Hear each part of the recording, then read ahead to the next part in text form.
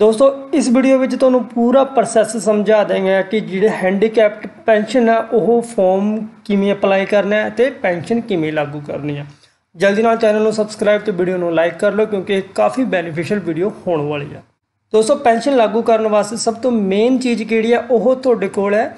ਜਿਹੜਾ handicapped certificate ਹੁੰਦਾ ਉਹ ਹੋਣਾ ਚਾਹੀਦਾ ਹੈ। ਹੈਂਡੀਕੈਪ ਸਰਟੀਫਿਕੇਟ ਕਿਵੇਂ ਬਣਾਉਣਾ ਇਸ ਦੇ ਰਿਗਾਰਡਿੰਗ ਮੈਂ ਇੱਕ ਵੀਡੀਓ ਪਹਿਲਾਂ ਹੀ ਪ੍ਰੋਵਾਈਡ ਕਰਵਾ ਦਿੱਤੀ ਹੈ। ਉੱਪਰ ਆਈ ਬਟਨ ਤੇ ਤੁਹਾਨੂੰ ਉਹ ਵੀਡੀਓ ਦਾ ਲਿੰਕ ਸ਼ੋ ਹੋ ਰਿਹਾ, ਜੇ ਤੁਹਾਡਾ ਹੈਂਡੀਕੈਪ ਦਾ ਸਰਟੀਫਿਕੇਟ ਨਹੀਂ ਬਣਿਆ, ਤਾਂ ਉਹ ਵੀਡੀਓ ਦੇਖ ਲਓ, ਉਹ ਪ੍ਰੋਸੈਸ ਫੋਲੋ ਕਰ ਲਓ ਈਜ਼ੀਲੀ ਤੁਹਾਡਾ ਹੈਂਡੀਕੈਪ ਦਾ ਸਰਟੀਫਿਕੇਟ ਬਣ ਜਾਵੇਗਾ। ਤਾਂ ਤੁਸੀਂ YouTube ਤੇ ਸਰਚ ਕਰ ਸਕਦੇ ਹੋ ਹੈਂਡੀਕੈਪਡ ਸਰਟੀਫਿਕੇਟ ਬਾਏ ਮੰਨੂ ਮੋੜ ਲਿਖ ਕੇ। ਸਰਚ ਕਰ ਸਕਦੇ ਹੋ, ਤਾਂ ਵੀ ਮੇਰੀ ਜਿਹੜੀ ਵੀਡੀਓ ਬਣਾਈ ਹੋਈ ਹੈ, ਤੁਹਾਨੂੰ ਈਜ਼ੀਲੀ ਮਿਲ ਜਾਵੇਗੀ। ਸੋ ਸਰਟੀਫਿਕੇਟ ਜਦੋਂ ਤੁਹਾਡਾ ਬਣ ਗਿਆ, ਹੁਣ ਕਰਨਾ ਕੀ ਹੈ? ਇਸ ਤਰ੍ਹਾਂ ਦਾ ਫਾਰਮ ਤੁਹਾਨੂੰ ਫਿਲ ਕਰਨਾ ਹੋਵੇਗਾ। ਇਹ ਤੁਸੀਂ ਆਨਲਾਈਨ ਡਾਊਨਲੋਡ ਵੀ ਕਰ ਸਕਦੇ ਹੋ ਬਟ ਜ਼ਿਆਦਾ ਟੈਨਸ਼ਨ ਲੈਣ ਦੀ ਲੋੜ ਨਹੀਂ, ਤੁਸੀਂ ਸੁਵਿਧਾ ਕੇਂਦਰ ਵਿੱਚ ਜਾਓ ਤੇ ਇਸ ਤਰ੍ਹਾਂ ਦਾ ਫਾਰਮ ਤੁਹਾਨੂੰ ਦੇ ਦੇਣਗੇ। ਸਿਰਫ 10 ਰੁਪਏ ਵਿੱਚ ਇਹ ਫਾਰਮ ਤੁਹਾਨੂੰ ਮਿਲ ਜਾਵੇਗਾ ਸੁਵਿਧਾ ਕੇਂਦਰ ਤੋਂ।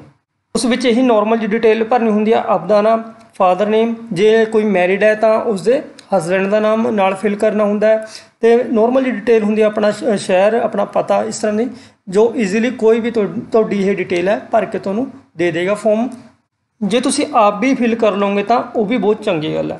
ਹੁਣ ਇਸ ਫਾਰਮ ਦੇ ਨਾਲ ਆਪਾਂ ਕਿਹੜਾ ਕਿਹੜਾ ਡਾਕੂਮੈਂਟ ਨਾਲ ਅਟੈਚ ਕਰਨਾ ਇਹ ਨੋਟ ਕਰ ਲਓ ਤੁਸੀਂ। ਸਭ ਤੋਂ ਪਹਿਲਾਂ ਹੈਂਡੀਕੈਪਡ ਸਰਟੀਫਿਕੇਟ ਦੀ ਫੋਟੋਕਾਪੀ ਆਪਾਂ ਇਸ ਫਾਰਮ ਦੇ ਨਾਲ ਅਟੈਚ ਕਰਨੀ ਹੈ।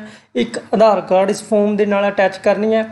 ਐਂਡ ਇੱਕ ਬੈਂਕ ਅਕਾਊਂਟ ਜਿਹੜਾ ਵੀ ਮਤਲਬ ਕਿ ਇਹ ਫਾਰਮ ਅਪਲਾਈ ਕਰ ਰਿਹਾ ਪੈਨਸ਼ਨ ਵਾਸਤੇ ਉਸ ਦੇ ਨਾਂ ਤੇ ਹੀ ਜਿਹੜਾ ਬੈਂਕ ਦਾ ਖਾਤਾ ਹੋਣਾ ਲਾਜ਼ਮੀ ਹੈ। ਤੇ ਉਸ ਬੈਂਕ ਖਾਤੇ ਦੀ ਜਿਹੜੀ ਫੋਟੋ ਕਾਪੀ ਕਰਾ ਕੇ ਇਸ ਫਾਰਮ ਦੇ ਨਾਲ ਅਟੈਚ ਕਰਨਾ ਹੈ।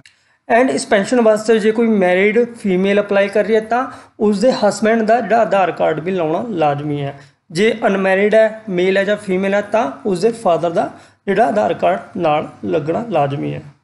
ਇਹ ਸਾਰੇ ਡਾਕੂਮੈਂਟ ਅਟੈਚ ਕਰਨ ਤੋਂ ਬਾਅਦ ਹੁਣ ਆਪਾਂ ਸੁਵਿਧਾ ਕੇਂਦਰ ਵਿੱਚ ਜਾਣਾ ਹੈ ਤੇ ਧਿਆਨ ਰੱਖਿਓ, ਜਿਹੜੇ ਵੀ ਡਾਕੂਮੈਂਟ ਆਪਾਂ ਫੋਟੋਕਾਪੀ ਲਾਈ ਹੈ, ਉਹ ਓਰੀਜਨਲੀ ਡਾਕੂਮੈਂਟ ਵੀ ਆਪਾਂ ਨਾਲ ਲੈ ਕੇ ਜਾਣੇ ਨੇ, ਕਿਉਂਕਿ ਉੱਥੇ ਸਕੈਨ ਹੁੰਦਾ ਹੈ। ਪਲੱਸ ਜਿਹੜੀ ਵੀ ਕੈਂਡੀਡੇਟ ਦਾ ਆਪਾਂ ਇਹ ਪੈਨਸ਼ਨ ਅਪਲਾਈ ਕਰ ਰਿਹਾ ਹਾਂ, ਉਸ ਦਾ ਹੋਣਾ ਉੱਥੇ ਲਾਜ਼ਮੀ ਹੈ, ਕਿਉਂਕਿ ਉੱਥੇ ਵੈਬ ਕੈਮ ਦੁਆਰਾ ਇੱਕ ਫੋਟੋ ਵੀ ਕਲਿੱਕ ਕੀਤੀ ਜਾਂਦੀ ਹੈ। ਇਸ ਤੋਂ ਬਾਅਦ ਜਿਹੜੇ ਵੀ ਡਾਕੂਮੈਂਟ ਤੁਸੀਂ ਨਾਲ ਲੈ ਕੇ ਗਏ ਹੋ, ਇਹ ਫਾਰਮ ਦੇ ਨਾਲ ਜਿਹੜੇ ਵੀ ਡਾਕੂਮੈਂਟ ਅਟੈਚ ਕੀਤੇ ਆ ਨਾ, ਉਹ ਸਾਰੇ ਉੱਥੇ ਕਾਊਂਟਰ ਤੇ ਜਮ੍ਹਾਂ ਕਰਾ ਦੇਣਾ ਹੈ। ਜਮ੍ਹਾਂ ਕਰਾਉਣ ਤੋਂ ਬਾਅਦ ਇਸ ਤਰ੍ਹਾਂ ਦੀ ਰਸੀਦ ਤੁਹਾਨੂੰ ਦਿੱਤੀ ਜਾਵੇਗੀ ਅਤੇ 50 ਰੁਪਏ ਫੀਸ ਵੀ ਤੁਹਾਡੇ ਤੇ ਲਈ ਜਾਵੇਗੀ। ਹੁਣ ਕੀ ਹੋਵੇਗਾ ਦੋਸਤੋ? 50 ਰੁਪਏ ਫੀਸ ਕਾਦੀ ਲੈਂਦੇ ਨੇ ਇਹ? ਜਿਹੜਾ ਬਾਈ ਡਾਕਖਾਨੇ ਦੁਆਰਾ ਤੁਹਾਡਾ ਜਿਹੜਾ ਇੱਕ ਹੋਰ ਨਵਾਂ ਸਰਟੀਫਿਕੇਟ ਬਣ ਕੇ ਆਵੇਗਾ ਤੇ ਉਹ ਤੁਹਾਡੇ ਘਰੇ ਡਿਲੀਵਰ ਕਰ ਦਿੱਤਾ ਜਾਵੇਗਾ। 30 ਦਿਨਾਂ ਦੇ ਅੰਦਰ ਅੰਦਰ ਇਹ ਸਰਟੀਫਿਕੇਟ ਤੁਹਾਡੇ ਘਰੇ ਪਹੁੰਚ ਜਾਵੇਗਾ ਅਤੇ ਉਸ ਤੋਂ 2 ਮਹੀਨੇ ਬਾਅਦ ਤੁਹਾਡੀ ਪੈਨਸ਼ਨ ਲਾਗੂ ਹੋ ਜਾਵੇਗੀ। ਓਕੇ ਦੋਸਤੋ, ਇਹ ਸਾਰਾ ਪ੍ਰੋਸੈਸ ਸੀ। ਜੇ ਹਲੇ ਵੀ ਕੋਈ ਡਾਊਟ ਹੈ ਤਾਂ ਵੀਡੀਓ ਵਿੱਚ ਕਮੈਂਟ ਕਰਕੇ ਮੈਥੋਂ ਪੁੱਛ ਸਕਦੇ ਹੋ।